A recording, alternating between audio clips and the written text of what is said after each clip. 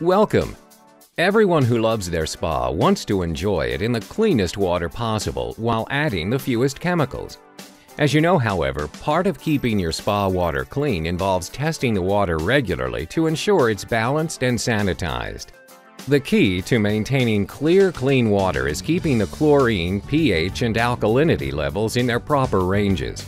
For residential spas, we'll review the most common testing methods drops, strips, and electronic reader. Each is easy and effective. Just choose the one you're most comfortable with and perform it on a routine basis. The drop system involves adding colored drops to a water sample and is reminiscent of a high school chemistry test.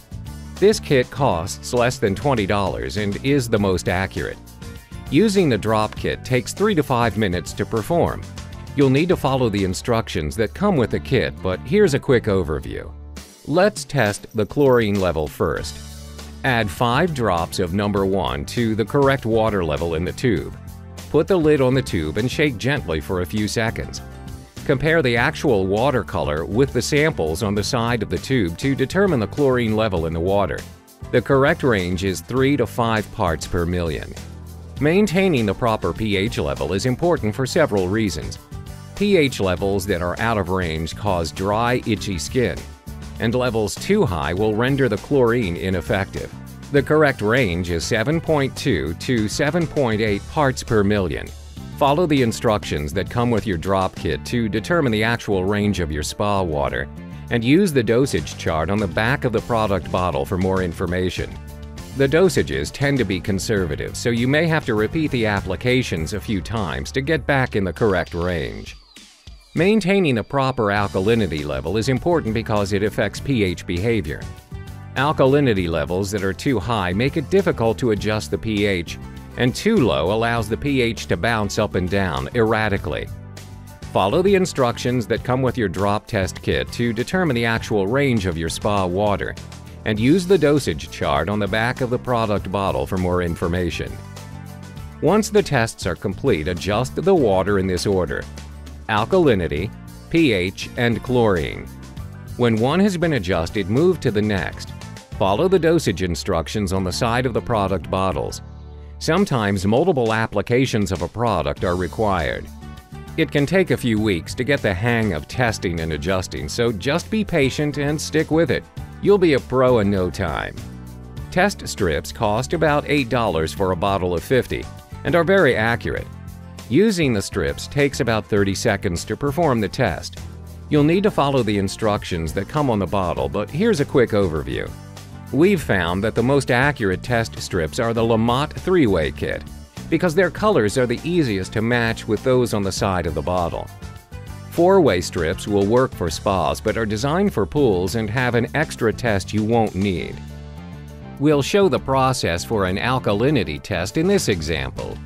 Dip the strip into your spa water for 2 seconds and shake the strip once lightly to remove the excess water.